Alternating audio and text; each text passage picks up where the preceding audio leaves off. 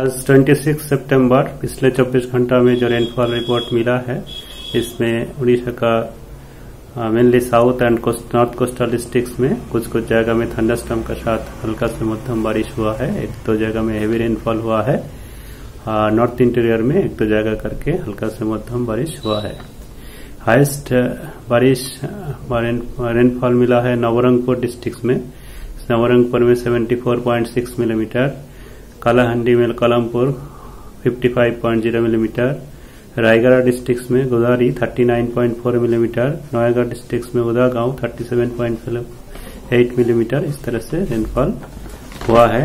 अभी आ, जो सीजनल स्थिति हमारा फ़र्स्ट जून से आज आ, तक जो 26 सितंबर तक जो हुआ मिला है इसमें 1129.9 मिलीमीटर रेनफॉल हुआ है।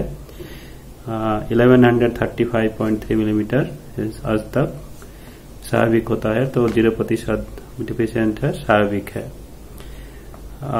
पिछले से जो आ, था वो बालासोर गजपति खुर्दा पुरी चार डिस्ट्रिक्ट में डेफिशिएंट है ट्वेंटी परसेंट और मोर और झारसीगुदा मालकानगिरी में आपका एक्सेस रेनफॉल है ये स्वाभाविक से ट्वेंटी परसेंट और मोर बारिश हुआ है। और अभी हमारा कल जो बिहार पर लो प्रेशर एरिया था, वो लो प्रेशर एरिया है। उसमें से ट्रफ लाइन अभी हमारा उड़ीसा का थ्रू जा रहा है। एक नॉर्थ साउथ ट्रफ जो था अपर ईयर वो भी है। तो इसका वजह से अभी अगला 24 घंटा में जो हमारा फोरकास्ट है, इसमें साउथ कोस्टल का डिस्ट्रिक्ट रायगढ़ मलकानगिरी कोरापुट नवरंगपुर ये सब डिस्ट्रिक्ट में मेनी प्लेसेस में और बाकी कुछ कुछ जगह में थंडरस्टॉर्म का साथ रेनफॉल उड़ीसा का डिस्ट्रिक्ट में होने का चांसेस है।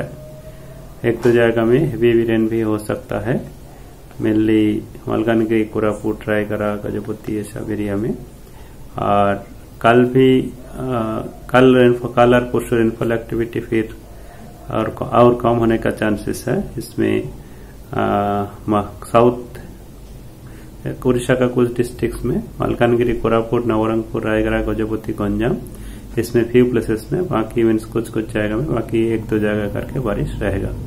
मीन्स सत्ताईस, अट्ठाईस, बारिश कम ही रहेगा। फिर अट्ठाईस उनतीस, तीस, उस समय थोड़ा thunderstorm activity coastal Orissa and south Orissa में इनक्रीज हो सकता है।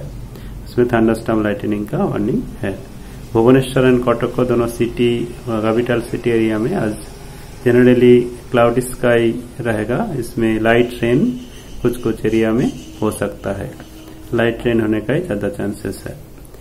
और अभी हमारा मानसून का जो स्टेटस है मानसून राजस्थान से विथड्रॉल शुरू होने का कंडीशन फेवरेबल हो रहा है।